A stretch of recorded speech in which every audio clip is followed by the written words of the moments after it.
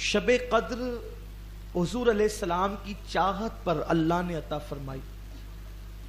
सरकार सल्लल्लाहु अलैहि वसल्लम को एक अफसरदगी थी कि अल्लाह ने दूसरे अंबिया की उम्मत को इतनी उम्र अता की। कोई 1200 साल का हुआ, कोई हज़ार साल का हुआ, कोई 500 साल का हुआ। मेरी उम्मत की उम्र कम है। तो अल्लाह ने महबूब की अफसरदगी देख करके जबरील को भेजा और इरशाद फरमाया, हबीब तुम अफसरदा न होना। अगर हमने उनको 1200 साल की 500 साल की उम्र दी है तो आप इस पर अफसरदा क्यों है? अर्ज़ की मौला, वो 1200 साल की इबादत लाएँगे और मेरी उम्मत 60-70 साल की इबादत लाएगी तो दोनों बराबर कैसे होगी? मेरी उम्मत पीछे होगी और वो अमल के मैदान में आगे होंगे। इरशाद हुआ हबीब, उनको उम्र लंबी दी है, तुझे वक्त लंबा देंगे। वो इस तरह से कि तेरी उम्मत को माह रमज़ान में एक रात अता करेंगे जो शब कदर होगी। और उस रात जो इबादत करेगा, उसको 80 साल की इबादत से ज़्यादा सवाब अता करेंगे। यानी वो रात हज़ार महीने से अफजल होगी। खैर मिनल की शहर। वो हज़ार महीनों से अफजल होगी। तो अब क्या होगा? अगर वो 12 साल की ने 1200 साल की नेकियाँ लाए तो वो 1200 साल के गुना भी तो साथ में लाएँगे, लेकिन प्यारे, तेरी उम्मत आगे बढ़ेगी। क्यों? क्योंकि उनके गुना तो 60 70 साल के होंगे और नेकियाँ हज़ारों साल की होगी। क्यों? इसलिए कि अगर एक इंसान को हर साल 10 साल भी मुसलसल लैलतुल कद्र मिल जाए तो उसकी नेकियाँ कितनी हो गई? हज़ार महीनों से बेहतर तो एक ही रात है। तो अब अगर उसको 10-15 रातें किस्मत से मिल जाए और वो खुश नसीब जिसको 60-70 मरतबा ये रात मिल जाए, फिर उसकी शान क्या होगी? तो इसलिए इस रात की बड़ी बरकत है। और एक मरतबा सहाबे किराम गुफ्तगु कर रहे थे कि शब कदर कब है? तो चूँकि हदीस है, कभी 21 को होती है, कभी 23 को होती है, कभी 25 को होती है, कभी 27 को होती है, कभी 29 को ढूँढने का हुक्म दिया गया है। ढूँढने का हुक्म दिया गया है। लेकिन जब सब अपने अपने अकवाल पेश कर रहे थे तो हिबरुल उम्मा, सैयदुल मुफसरीन हज़रत सैयदना अब्दुल्ला इब्ने अब्बास भी मौजूद थे। आप चुप थे, खामोश थे, आपने कोई जवाब नहीं दिया।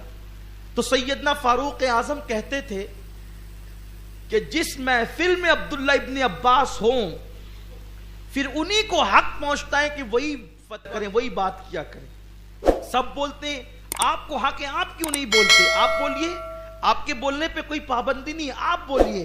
तो सैयदना अब्दुल्ला इब्ने अब्बास ने कहा, अगर मुझसे पूछते हो तो बात यह है कि पूरी कायनात सात पे घूम रही है।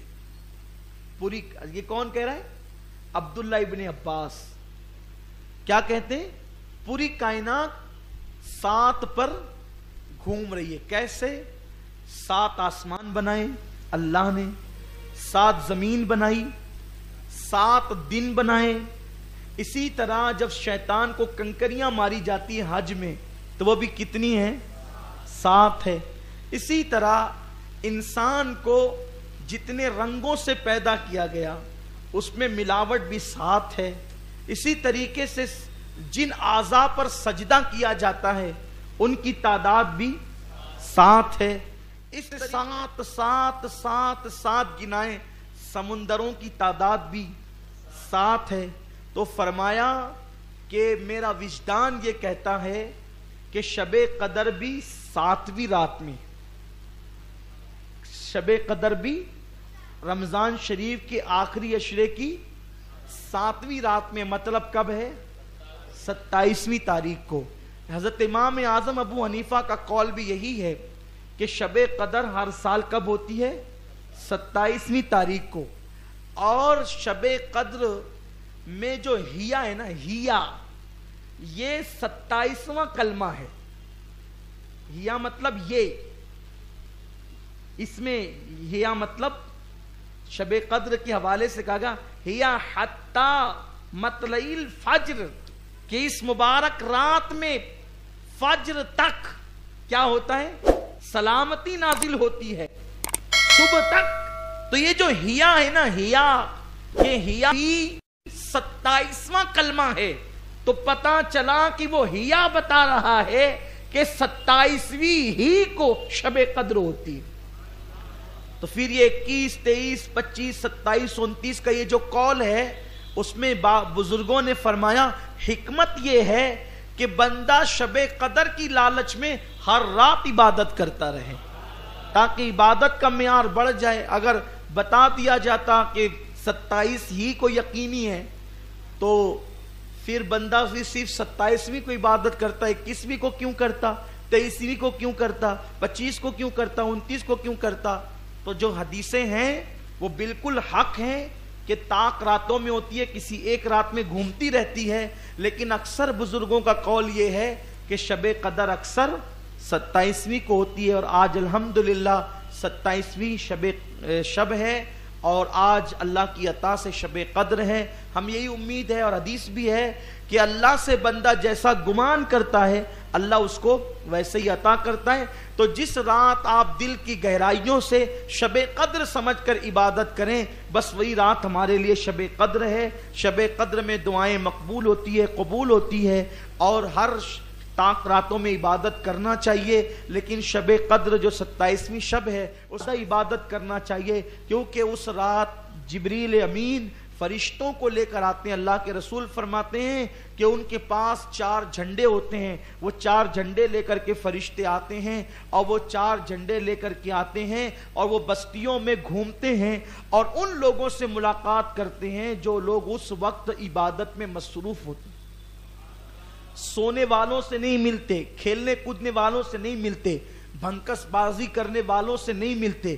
किन से मिलते हैं? जो इबादत में मसरूफ रहते हैं उस रात। और उनसे वो मुसाफा करते हैं और उनके लिए सलामती की दुआ करते हैं। और फिर जब वो आसमानों पे जाते हैं तो पहले आसमान के फरिश्ते पूछते हैं, कहाँ से आ रहे हो? तो जबरील अमीन और जो दूसरे फरिश्ते आते हैं, वो कहते हैं, हम शब कद्र में गए थे, उम्मत मोहम्मदिया से मिलने के लिए गए थे और उन, उनसे मुलाकात के लिए गए थे। तो उस वक्त वो फरिश्ते पूछते तुमने किस हालत में उम्मत मोहम्मदिया को पाया? तो क्या कहते हैं? वो कहते हैं कि हमने उन्हें रुकू में पाया, सजूद में पाया तस्बी में पाया, अल्लाह की हमद करते हुए पाया, उनको अल्लाह की तस्बी और तकदीस बयान करते हुए पाया, वो औसाफ बयान करते, तिलावत कुरान करते हुए पाया, हमने दुआएँ करते हुए उन्हें पाया। इस तरह की वो तफसील बयान करते हैं और फिर क्या बड़ी प्यारी बात कहते हैं? फरमाते हैं, जो नेक लोग थे उम्मत मोहम्मदिया के, अल्लाह ने उन सबको बख्श दिया। और जब नेकों को बख्श दिया, इबादत करने वालों को बख्श दिया तो अल्लाह ने इबादत करने वालों के तुफैल में गुनेगारों को भी बख्श दिया यानी सबकी बख्शिश हो गई सबकी निजात हो गई। सोने वाले किसके सदके बख्शे गए? इबादत करने वालों के सदके बख्शे गए। तस्बी न करने वाले किसके सदके बख्शे गए? तस्बी करने वालों के सदके बख्शे गए। लेकिन वो बख्श तो दिए गए, मगर फरिश्तों से मुलाकात का शरफ किसको हासिल हुआ? उनको जो लोग इबादतों में मसरूफ रहे।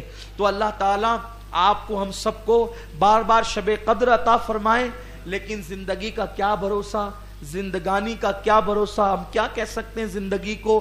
पता नहीं, आइंदा साल शब कदर मिले, ना मिले, इसलिए आज की रात कसरत के साथ इबादत कीजिए दुरु शरीफ पढ़िए तस्बी पढ़िए इस्तफार पढ़िए, कलमा शरीफ पढ़िए, अल्लाह रब्बुल इज़्ज़त की बारगाह में खूब खूब दुआएँ कीजिए ताकि उसकी बरकतें आपको, हम सबको नसीब हो सकें। उम्मीद करता हूँ कि आप सब आज की पूरी रात दुआ में गुजारेंगे, इबादतों में गुजारेंगे, रब तबारक वाली को मनाने की और उसको राज़ी करने की कोशिश करेंगे। अल्लाह से खूब मांगो खूब मांगो, आज मिलने की रात है। आज की रात हज़ार महीनों से अफजल और बेहतर रात है। इन इसकी बरकतें अल्लाह आपको हम सबको ज़रूर नसीब फरमाएगा। अल्लाह से मांगिए, आज की रात हम सबकी बुरी तकदीरों को भली कर दे। अल्लाह आज की रात हमारे सोए हुए मुकद्दरों को बेदार कर दे। अल्लाह आज की रात हमारी तमाम जायज़ मुरादें पूरी कर दे। और अल्लाह, आज की रात अल्लाह से ख़ास दुआ ये है कि मौला हमें ऐसा बना दे जो तुझे पसंद हो।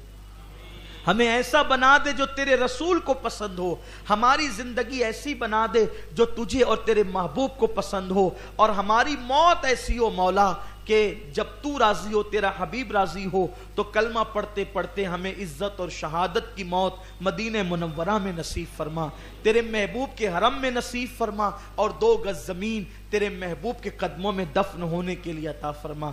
आज की रात इंशाला हर ताक रातों में इसी मस्जिद में सलात तस्बी का अहतमाम किया जा रहा है और आज की रात भी इंशाल्लाह ये अहतमाम होगा।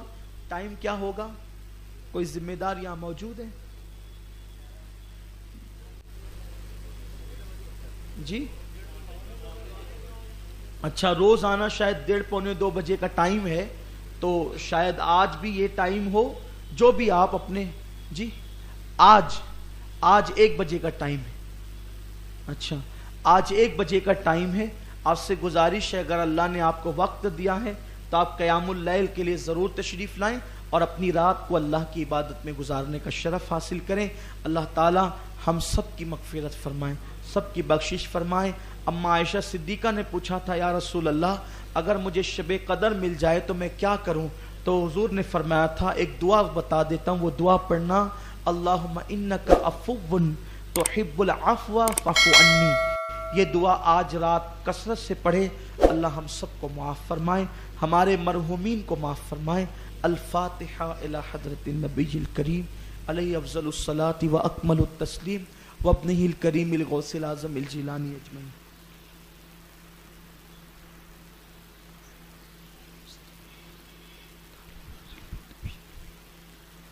सल्लल्लाहु ताला खैर खल्कि मुहम्मद वसहबी अजमैन इन अल्लाह व मलाइकतहु युसल्लून या अय्युहल्लदीना आमनु सल्लु अलैहि तस्लीमा। रब सल्लि वसल्लिम दाइमन अबदा, अला हबीबी का खल्कि कुल्लिहिम, व उफव्विदु अमरी इन अल्लाह बसीर बिल इबाद, बिरहमतिका या